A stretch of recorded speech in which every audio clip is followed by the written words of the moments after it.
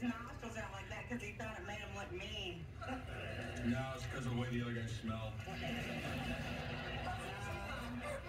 You look so queer. I can't believe you wore a flip.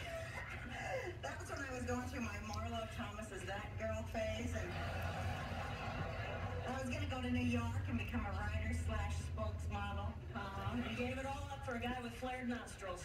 Your stinky friends. I think you look pretty. Well, I think you look pretty too. Dad, where did you fall in love with As soon as she told me to, honey. You couldn't pry them apart. It was disgusting.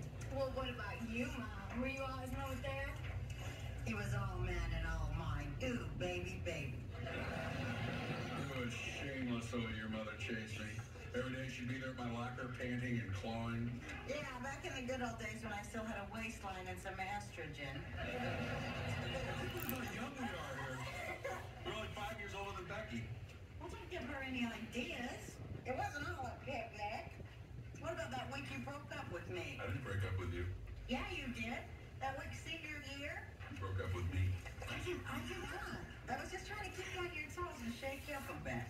We were at Arnie Patterson's garage dance and we had that big fight and you said you were going to see other people. He's right, Roseanne. I remember because you had just read that article about how to drive your boyfriend wild by making him jealous. Well, don't tell him about it.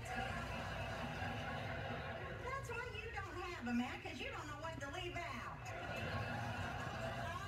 Oh, so you leave out the part where you come crawling back on your hands and knees.